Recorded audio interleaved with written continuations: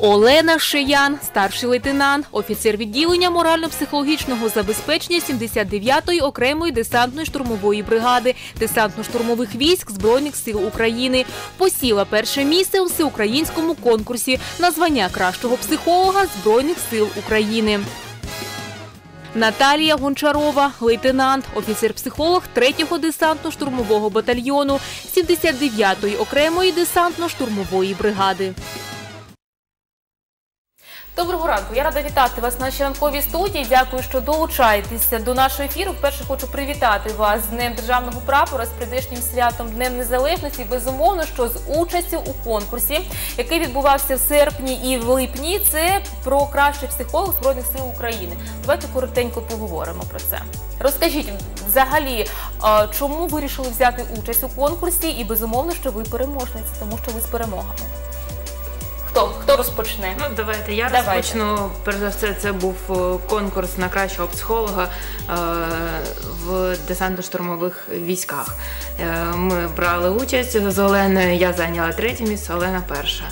Ось, ну ми перш за все е, представляли нашу бригаду. Е, Я вважаю, що ми це гідно зробили, тому що про Абсолютно. 79-ку знали всі. І навіть коли ми завжди виступаємо, ми кажемо, що 79-ка краща серед десант штурмових військ. Да. Так, ну і що, Оленочка, ви розкажете? Е, У ну, вас перше місце. Я знаю, що конкурс був протягом днів. Що найскладніше було? От давайте так. е, найскладніше було в конкурсі на рівні десантно-штурмових військ. е, Було просто ми всі з одного роду військ. Ми знаємо особливості нашої роботи в десантно-штурмових військах. Е, Приїхавши на конкурс. е, Кращий психолог Збройних сил України в Одесу, який проходив з 14 по 16 серпня. Е, Це було 11 учасників з різних родів видів військ. Різні особливості, різні підходи до, до особового складу, до офіцерського складу в роботі. І найскладнішим було е, конкурувати один між одним. Тому що, хоч ми всі конкурсанти, конкуренти, але ми всі згуртовані, ми всі здружилися буквально за один вечір. Тобто Про конкуренцію дещо забуваєш, так? Е, Так, тому було трішки складно, коли ти розумієш, що хтось тебе сильніший, від когось сильніший ти, е, нікого не хочеться образити. Е, Конкурс проходив також в три етапи. Першим етапом було саме презентація е, нашої військової діяльності е, з особливостями роботи в десантно-штурмових військах. Другий день це було, був була психоедукація, коли привели військовослужбовців морських сил, і ми з ними проводили заняття. А третій етап це пройшло туди три фіналіста з 11 учасників. І ми проводили тренінг також з військовослужбовцями. Тобто конкурс базувався не на теорії, а суто на практиці. Е, Про конкурс зрозуміло, хоч хотілося більш детально в вашій життєвій історії да, дізнатись, тому що от е, і запитання від телеглядачів до вас є. Як ви потрапили? е, Як ви стали військовими психологами? Чому? Тому що дійсно ваша допомога необхідна, конче необхідна військовим, але все ж таки розкажіть більш детально про те, чим ви займаєтеся. Ну, Особливо я розкажу про свій шлях. Так. Да, я почала ну, свій шлях з волонтерської діяльності. Це був 2015 рік. Я вступила е, в громадську організацію Психологічна кризова служба. І вже з 2015 року в мене почались перші виїзди в АТО. е, Від е, ну були запити від бійців. Це все робилось з Генеральний штаб. Тобто е, в мене був офіційний дозвіл на виїзд в АТО, і ми в групі ще декількох психологів виїжджали. Це були і Лебединське, це було і Луганське направлення, там Новоахтирка, Орехово Донецьке е, і тому подібне. Да, ну, різні бувають е, різні дуже е, ситуації, бувають і дуже важкі, особливо важко працювати е, з втратою. Тобто, коли ти працюєш з бійцем, який розказує е, про втрату свого побратима, коли він був свідком втрати свого побратима там і тому подібне, і ти мусиш йому надати психологічну допомогу, пояснити, як з цим жити. Є спеціальні механізми, і я цьому вчилася. Це є спеціальне направлення психології, називається психологія горя. Ось як саме пережити травму, які етапи ти пояснюєш, по-перше за все, що е, переживання це нормальне, як це ну, як це відбувається і тому подібне. І потім, коли людина вже отримала певну інформацію, то ти надаєш рекомендації командиру, чи, е, да, чи доцільно саме цього військовослужбовця залишати на цьому взводно-опорному пункті, чи може замінити на когось іншого. Що дивіться, але ж всі різні, та військові, офіцери, кожен по-своєму переживає втрату, будь-яку подію. Як ви знаходите контакт із солдатами, з командирами, з офіцерами? Я думаю, як на мене, я думаю, що це найскладніше. Та от поділіться цим, будь ласка. Е, Тому перед тим, як брати військовослужбовця на контракт, вони проходять певні е, Психологічні тести. психологічні тести, е, індивідуальні бесіди, також там рівень фізичної підготовки вони проходять і так далі. Е, На це дуже звертається увага, щоб в подальшому орієнтуватися, е, що, що собою представляє та чи інша людина, який до неї знаходити підхід. І це саме перший етап. А потім, в подальшому, коли вже людина знаходиться в підрозділі, ми бачимо, як вона контактує з Тобто іншими. спостерігаєте, так? Так. Мгм. Е, Це цим займаються не тільки психологи, а й власне всі командири підрозділів. Вони також в цьому приймають участь. Так як ми всього не можемо побачити, командири все-таки більше проводять з ними часу і більше бачать реакції на ті задачі, які їм ставлять. Ну от, а найчастіше до вас звертаються з допомогою? Чи ви бачите, що от варто з тим чи іншим військовим поговорити, е, надати допомогу, підтримку? Раніше було складно е, спілкуватися з військовослужбовцями, тому що вони сприймають психологів як психіатрів. Тому трішечки стоїть такий бар'єр, що я до, я до них не піду, я ж не хворий.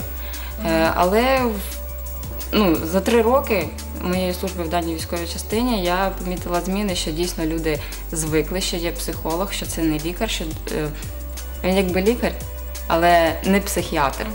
Е, До нього можна прийти, поговорити, запитати, отримати підтримку, якусь допомогу. Е, Зараз на даний час е, більше звертаються самостійно. Чи є якісь особливі такі історії у вас, які ви точно запам'ятаєте, життєві е, саме у вашому напрямку? Пригадаєте? Чи, чи, чи кожна вона особлива по-своєму? Ну, мабуть, Кожна особлива. особлива, і, на жаль, звертається цей ну, до, до психолога звертається як до лікаря, коли ну щось трапилось. Да? І на жаль, навіть от за цю ротацію нам довелося, у нас є бойові втрати, нам довелося працювати з людьми, які мають е, ну так називаємо посттравматичний стресовий розлад, і які були свідками загибелі е, своїх побратимів. І на ну на жаль, або ну це наша професія, да. Ми стикаємося з проблемними питаннями, да, коли там є конфлікти з дружиною, там ще якісь так, да, дуже так, про це й хотілося б поговорити, тому що є такий популярний вислів, що на війну людина йде однією, а повертається зовсім іншою. Це правда так? І що це за зміни? Розкажіть. Взагалі то правда, тому що вона здобуває новий досвід. Новий досвід такий, з яким вона ніколи не стикалася. Тобто, наприклад, вона в цивільному житті там мала е, якусь цивільну професію. Тут е, він е, вдяг форму, да, він став у стрій і захищає батьківщину. Тобто вона стає людина вже зовсім іншою. Тому багато дружин і кажуть, що е, чоловік повернувся з ну, з інш, іншим зовсім. Тому саме для цього в нас в Миколаєві працює там. Е, Теж е, таке направлення, як зустрічі дружин військовослужбовців. Вони е, зустрічаються, спілкуються, діляться досвідом, і це все відбувається ну, як під наглядом або курірується психолог. Так, от навіть є такий синдром да, після повернення війни, і от які ви можете дати поради дружинам, родинам демобілізованого бійця, до чого їм готуватися після повернення е, чоловіка, батька, сина із фронту. Ну, Можете дати взагалі, то ко- кожен, кожна людина вона індивідуальна. Як і людина, ну, коли хворіє, в неї є у кожної свої симптоми. Да? Тобто людина з фронту може повернутися і агресивною, або може навпаки замкнутися в собі і нічого не розказувати. Тобто, ну, перш за все, якщо людина про це не хоче розмовляти, то не треба підходити до неї і казати, а ну розкажи, що там було. Да? А давай про це поговоримо. Якщо людина захоче про це поговорити, військовослужбовець, він буде про це говорити і він поділиться. Знаходиться. Іноді е, ну, краще туди лізти і не розпитувати, тому що не кожен зможе. е, Адекватно ну, сприйняти це е, ну, війну, скажімо так. Тому що, як то кажуть, по телевізору одне показують взагалі там трошки інше. Да? Абсолютно. Да. Тоді, ну, перш за все, це така загальна порада всіх психологів звернутися до психолога. Тобто, які є проблеми, да, тобто до сімейного психолога, які є проблеми і тому подібне.